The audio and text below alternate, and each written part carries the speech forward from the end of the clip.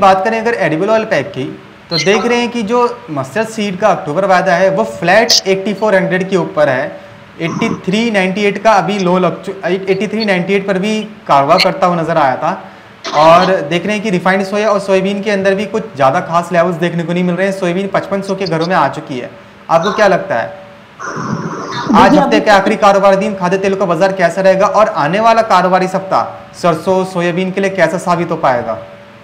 देखिए, अभी हफ़्ते का, आज आखिरी कारोबारी दिन गिरावट वाला हो सकता है। आज सभी एग्री कमोडिटीज में गिरावट है, वहीं खाद्य तेलों भी ऊपरी स्तरों से लुढ़कते हुए दिखाई दे रहे हैं। सरसों में भी गिरावट है, सोयाबीन भी लुढ़का है और रिफाइंड सोया में भी गिरावट है। तो मुझे लगता है कि आने वाले दिनों में ये गिरावट बढ़ सकती है। सोयाबीन के अंदर गिरावट जो है, वो देखने को मिल सकती है और सोयाबीन नीचे में चौपन तक लुढ़क सकता है। चौपन से बावन सौ किस आप मान के चलिए, देखने को मिल सकते हैं।